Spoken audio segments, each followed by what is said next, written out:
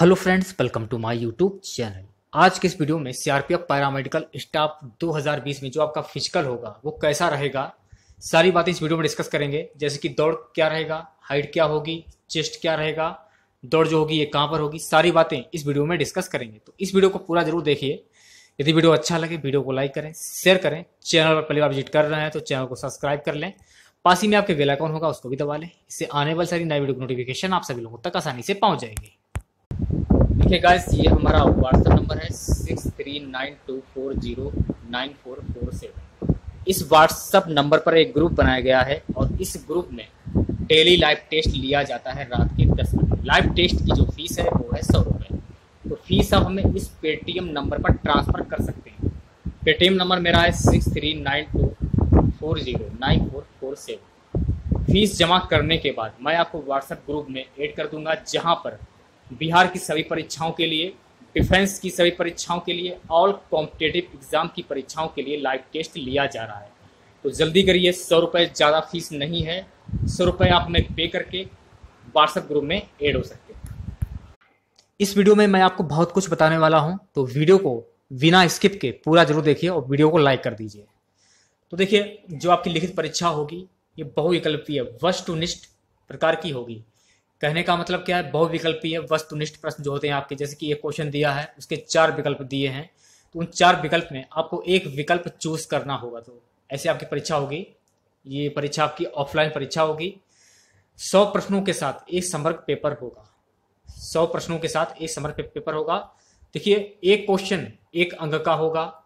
इस प्रकार परीक्षा सौ अंकों की होगी। सौ अंकों की परीक्षा होगी और एक प्रश्न आपका एक नंबर का होगा, ये भी आपको ध्यान में रखना है।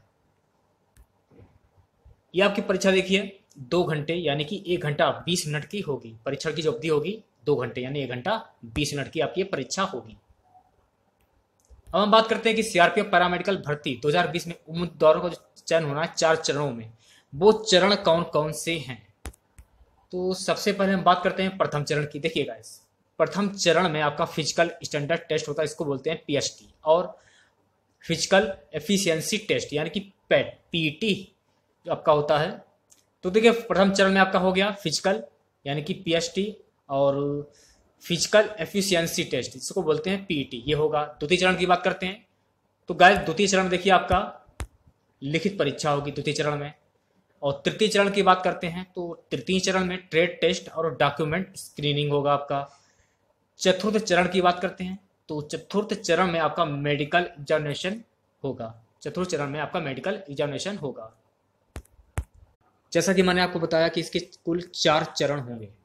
तो देखिए, इस वाले वीडियो में हम लोग प्रथम चरण की बात करेंगे, जिसमें आपका फ़िज़िकल स्टैंडर्ड टेस्ट होता है पीएचटी और फ़िज़िकल एफिशिएंसी टेस्ट पीईटी तो सबसे पहले हम बात करते हैं प्रथम चरण की स्टेज वन की। प्रथम चरण में देखिए आपका फ़िज़िकल स्टैंडर्ड टेस्ट ये तो मैंने आपको बता ही दिया है। तो सबसे पहले बात करते हैं फ़िज़िकल स्टैंडर्ड टेस्ट जिसको बोलते हैं पीएचटी तो देखिए, इसमें सबसे पहले उम्मीदवार को क्या करना पड़ता है? सबसे पहले उम्मीदवार का आइडेंटिटी वेरिफिकेशन होगा। उसके बाद उम्मीदवार का फ़िज़िकल स्टैंडर्ड टेस्ट आयोजित किया जाएगा।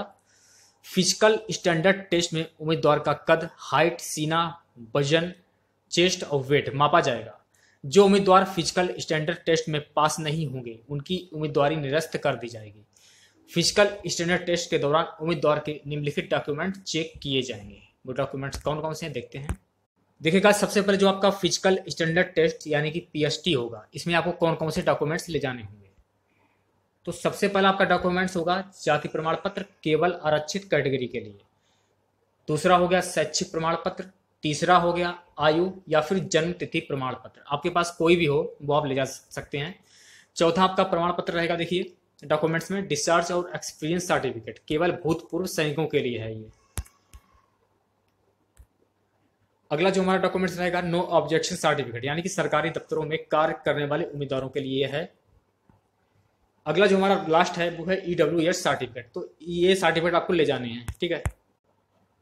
देखिए, उम्मीदवारों का जो फ़िज़िकल स्टैंडर्ड टेस्ट मेज़रमेंट इस प्रकार का होगा, जिसमें देखिए कद की बात करते हैं, सबसे पहले हाइट की बात करते हैं।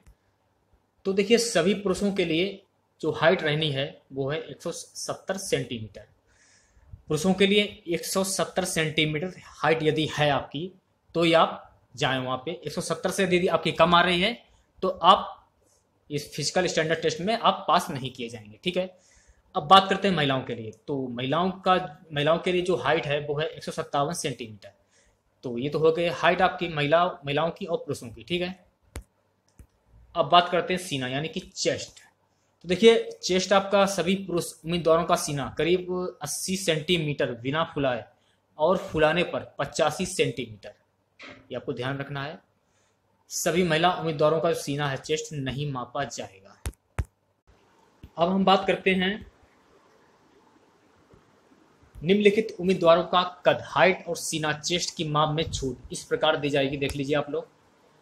शेड्यूल टाइम पुरुष उम्मीदवारों का कद एक सेंटीमीटर होना चाहिए और शेड्यूल टाइम महिला उम्मीदवारों का कद 150 सेंटीमीटर होना चाहिए।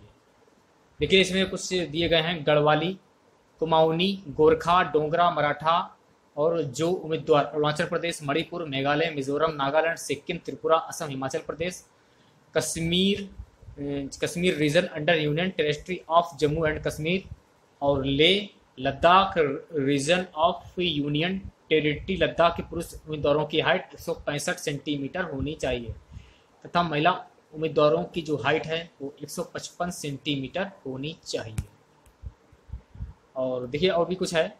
सिरुल ट्राइब पुरुष उम्मीदवारों का सीना छिहत्तर सेंटीमीटर बिना फुलाए और फुलाने पर इक्यासी सेंटीमीटर होना चाहिए, और शेड्यूल ट्राइब महिला उम्मीदवारों का सीना नहीं मापा जाएगा। और भी कुछ है, देखते हैं। देखिए गाइस गढ़वाली कुमाऊनी, गोरखा, डोंगरा, मराठा, जो उम्मीदवार Arunachal Pradesh, Manipur, Meghalaya, Mizoram, Nagaland, Sikkim, Tripura, Assam, Himachal Pradesh, Kashmir region under union territory of Jammu and Kashmir Leh Ladakh region of union territory Ladakh के पुरुष उम्मीदवारों का सीना। देखिए, पुरुष उम्मीदवार सीना जो होना चाहिए, अठहत्तर सेंटीमीटर बिना फुलाए और फुलाने पर तिरासी सेंटीमीटर होना चाहिए तथा महिला उम्मीदवारों का सीना नहीं मापा जाएगा। अब बात करते हैं फ़िज़िकल एफिशिएंसी टेस्ट यानी कि पीटी इसमें देखिए शारीरिक दक्षता परीक्षा फ़िज़िकल एफिशिएंसी टेस्ट क्वालिफाइंग होगी। चार ग्राम भूतपूर्व सैनिकों को फ़िज़िकल एफिशिएंसी टेस्ट नहीं देना होगा। यदि कोई महिला उम्मीदवार फ़िज़िकल एफिशिएंसी टेस्ट के समय प्रेग्नेंट है तो उनको उस अवस्था में डिस्कालीफाई माना जाएगा। जो उम्मीदवार फ़िज़िकल एफिशिएंसी टेस्ट क्वालिफाई नहीं कर पाएँगे, उनको आगे की रिक्रूटमेंट प्रोसेस से हटा दिया जाएगा, अर्थात फेल कर दिया जाएगा। देखिएगा अगला जो आपका फ़िज़िकल एफिशिएंसी का जो टेस्ट होगा, वो कैसा रहेगा? देखिए इसमें, पुरुष उम्मीदवारों के लिए दौड़। एक पॉइंट छः किलोमीटर दौड़ दस मिनट में पूरी करनी होगी। और महिला उम्मीदवारों के लिए एक पॉइंट छः जो महिला हैं, उनकी दौड़, एक पॉइंट छः किलोमीटर जो दौड़ है आपको, ये बारह मिनट में पूरी करनी होगी। ये तो हो गई महिलाओं की। अब बात करते हैं दौड़ की। तो दौड़ के देखिए, पुरुष उम्मीदवारों के लिए दौड़ है। एक पॉइंट छः किलोमीटर दौड़ सात मिनट तीस सेकंड में पूरी करनी होगी। महिला उम्मीदवारों के लिए दौड़ जो है 800 मीटर दौड़, ये छह मिनट में पूरी करनी होगी। अब हम बात करते हैं लंबी कूद की, यानी कि लॉन्ग जंप पुरुष उम्मीदवारों के लिए 10 फीट तीन मौके दिए जाएँगे। महिला उम्मीदवारों के लिए 6 फीट तीन मौके दिए जाएँगे। अब बात करते हैं ऊँची कूद की, यानी कि हाई जंप की। पुरुष उम्मीदवारों के लिए तीन फीट तीन मौके दिए जाएँगे। महिला उम्मीदवारों के लिए दो पॉइंट पाँच फीट तीन मौके दिए जाएँगे।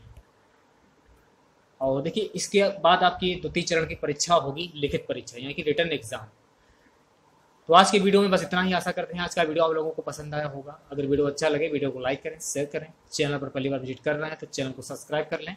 पास ही में आपके बेल अकाउंट होगा, उसको भी दबा लें। इससे आने वाले सारी नई वीडियो नोटिफिकेशन आप सभी लोगों तक आसानी से पहुँच जाएगी। मिलते हैं नेक्स्ट वीडियो के साथ। जय हिंद, जय भारत।